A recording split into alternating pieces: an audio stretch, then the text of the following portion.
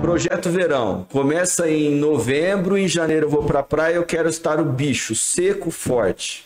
Vixe, tem muito, cara. Fale um pouco sobre isso. Ah, eu já, te... eu já cheguei a atender uma paciente. cara, achei isso bizarro, não é possível. Eu achei que ela, ela tava zoando com a minha cara, mas não tava. Ela tava com casamento marcado, festa e demais, era coisa de um, dois meses, né? Eu falei, não, tá, você tá zoando, né? Daqui um ano, vai, pelo menos. Ela falou, não, daqui um, dois meses. Eu falei, filho, você tinha que ter me procurado, pelo menos, vai, uns seis meses atrás, né? No mínimo, né?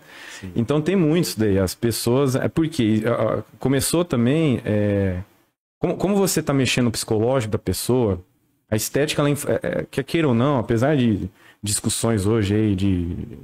As pessoas de esquerda, maluco aí, estética é muito importante. E todo mundo liga para ela. Ah, quem fala liga, que não liga, liga, liga. quem fala que não liga é mentiroso, é, é frustrado, tá com algum problema, inclusive é bom se tratar, porque todo mundo liga. É. é...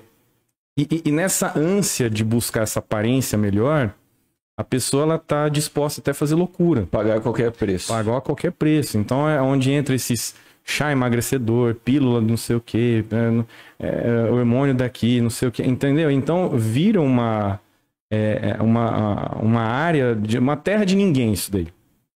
E é onde médicos que não entendem do assunto começam a palpitar, sem o devido conhecimento. Porque, a, a, que nem você falou, a parte é, hormonal, de anabolizante, tem muito estudo.